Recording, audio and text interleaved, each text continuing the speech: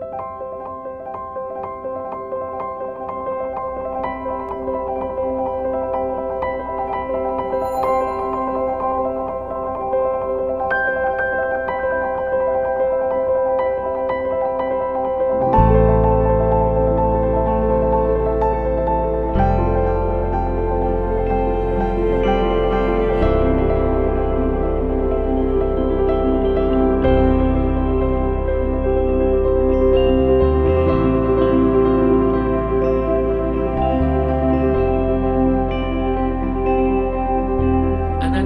notable case of passing is found in the story of the Texan journalist and photographer John.